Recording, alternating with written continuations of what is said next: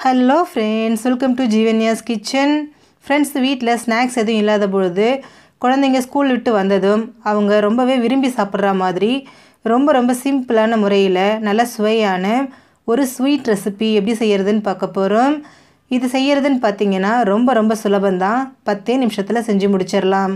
இதை எப்படி செய்கிறதுங்கிறத பார்க்குறதுக்கு முன்னாடி நம்ம சேனல் ஜீவன்யாஸ் கிச்சனை மறக்காமல் சப்ஸ்கிரைப் பண்ணி பக்கத்தில் இருக்க பெல் சிம்பிளையும் கிளிக் பண்ணிக்கோங்க. இந்த பணியாரம் செய்ய நான் இன்னைக்கு இந்த கப்பில் ஒரு கப் அளவுக்கு தேங்காவை நல்லா துருவி எடுத்து வச்சுருக்கேன். இதே கப்பில் முக்கால் கப் அளவுக்கு வெள்ளத்தை துருவி வச்சுருக்கேன். நீங்கள் வெள்ளத்துக்கு பதிலாக நாட்டு சர்க்கரை இல்லை ஒயிட் சுகர் கூட சேர்த்துக்கலாம். இப்போது ஸ்டவ்வில் ஒரு பேன் வச்சுட்டு அதில் நம்ம எடுத்து வச்சுருக்கக்கூடிய வெள்ளத்தை சேர்த்துக்கலாம். கூடவே ரெண்டு டேபிள் ஸ்பூன் அளவுக்கு தண்ணி சேர்த்துக்கிறேன். தண்ணி ரொம்ப அதிகமாக சேர்க்காதீங்க. கொஞ்சமாக சேர்த்துட்டு இந்த வெள்ளத்தை நல்லா கரைச்சி எடுத்துக்கோங்க. இப்போ இது கரையட்டும். பாருங்கள் நம்ம சேர்த்த வெல்லம் எல்லாமே நல்லா கரைஞ்சி வந்துருச்சு. இப்போது இதை ஒரு ரெண்டு நிமிஷத்துக்கு அப்படியே விட்டுருங்க. நல்லா கொதித்து பாகு கொஞ்சம் திக்காகட்டும். பாருங்கள் ஒரு ரெண்டு நிமிஷம் ஆயிடுச்சு. பார்க்கும்போதே நமக்கு நல்லா தெரியும். நல்லா நுர நுறைய பொங்கி வருது பாருங்கள் நல்லா திக்காகி வந்திருக்கு. பாகு இந்த பக்குவத்துக்கு நல்லா திக்காகி வந்ததும் இது கூட நம்ம துருவி வச்சுருக்கோம் இல்லைங்களா? தேங்காய் அதை சேர்த்துக்கலாம். கூடவே ரெண்டு டேபிள் ஸ்பூன் அளவுக்கு பொடியை நறுக்கின முந்திரி சேர்த்துக்கிறேன். முந்திரி ஆப்ஷனல் தான். சேர்க்கறதுனால நல்லா டேஸ்ட்டாக இருக்கும். சாப்பிடும்போது வாயில் கடிபடும். ரொம்பவே அருமையாக இருக்கும். இப்போ இது கூட வாசனைக்காக அரை டீஸ்பூன் ஏலக்காய் பவுடர் சேர்த்துக்கிறேன். சேர்த்துட்டு ஸ்டவ்வை மீடியம் ஃப்ளேமில் வச்சுக்கோங்க. வச்சுட்டு இதை கைவிடாமல் இந்த மாதிரி கலந்துக்கிட்டே இருங்க. தேங்காவில் இருக்கக்கூடிய அந்த ஈரப்பதம் முழுமையாக போயிட்டு அந்த வெள்ளைப்பாகுலையே தேங்காய் நல்லா வெந்து நல்லா உதிரு உதிராக வரும். அது வரைக்கும் இதை குக் பண்ணிக்கோங்க. பாருங்கள் ஒரு ரெண்டு நிமிஷத்துலேயே அந்த தேங்காவோட ஈரப்பதம் போயிட்டு அந்த வெள்ளைப்பாகுலியே நல்லா வெந்து கடாயில் ஒட்டாமல் நல்லா உதிரி உதிரியாக வந்திருக்கு. இப்போ ஸ்டவ் ஆஃப் பண்ணிவிட்டு இதை அப்படியே வச்சுடுங்க. நமக்கு இது முழுமையாக ஆறணும். இப்போ கையில் கொஞ்சமாக எண்ணெய் தடவிக்கோங்க. தடவிட்டு இதை நம்ம பால்ஸாக உருட்டி எடுத்துக்கலாம். உங்களோட குழிப்பணியாரக்கல் என்ன சைஸ் இருக்கோ அதுக்கு ஏற்ற மாதிரி இந்த பால்ஸை செஞ்சுக்கோங்க. நான் இன்றைக்கி நல்லா பாருங்கள் குட்டி குட்டியாக இந்த மாதிரி எல்லாத்தையும் உருட்டி எடுத்துக்கிறேன். ரொம்ப டைட்டாக போட்டு உருட்ட வேண்டிய அவசியம் கிடையாது. அந்த ஷேப்புக்கு நம்ம உருட்டி எடுத்தால் போதும். பாருங்கள் இதே மாதிரியே எல்லாத்தையும் நம்ம உருட்டி எடுத்துக்கலாம். நான் எடுத்த அளவுகளுக்கு எனக்கு இன்றைக்கி பதினோரு உருண்டைகள் வந்திருக்கு. இப்போது ஸ்டஃபிங் ரெடியாக இருக்குது இதுக்கு மேல் மாவு ரெடி பண்ணிக்கலாம். அதுக்கு ஒரு மிக்சிங் பவுல் எடுத்துகிட்டு அதில் ஒரு கப் அளவுக்கு இட்லி மாவு இல்லை தோசை மாவு எது இருந்தாலும் சேர்த்துக்கோங்க. கூடவே ஒரு டீஸ்பூன் அரிசி மாவு சேர்த்துக்கிறேன். அரிசி மாவு சேர்த்துட்டு இதை நல்லா கலந்துக்கோங்க.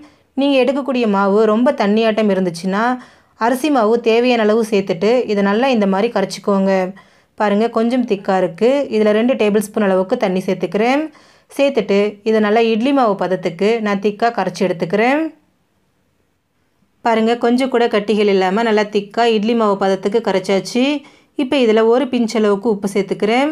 நான் ஏற்கனவே இட்லி மாவில் உப்பு கலந்து தான் வச்சுருந்தேன். அதனால் ஒரு பிஞ்சு மட்டும் சேர்த்துக்கிறேன். நீங்கள் எடுக்கிற மாவில் எந்த அளவுக்கு உப்பு கலந்துருக்கீங்களோ அதுக்கு தகுந்த மாதிரி தேவைப்பட்டால் உப்பு சேர்த்துக்கோங்க.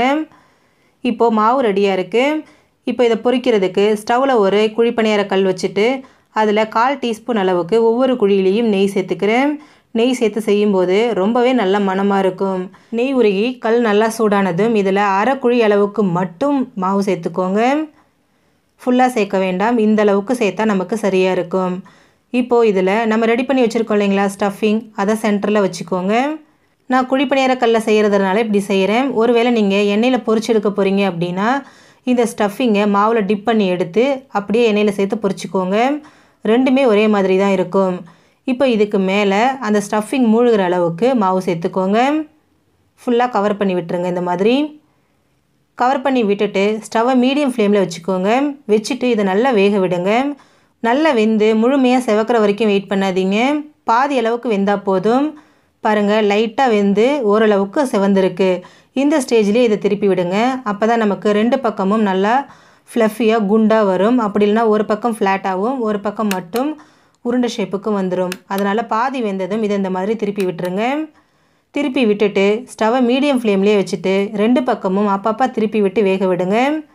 பாருங்கள் எல்லா பக்கமும் நல்லா வெந்து செவந்து கலர் மாதிரி வந்துருச்சு. இந்தளவுக்கு நல்லா வேகணும். வெந்ததுக்கு அப்புறமா இதை நம்ம கடாயிலேருந்து எடுத்துருவோம்.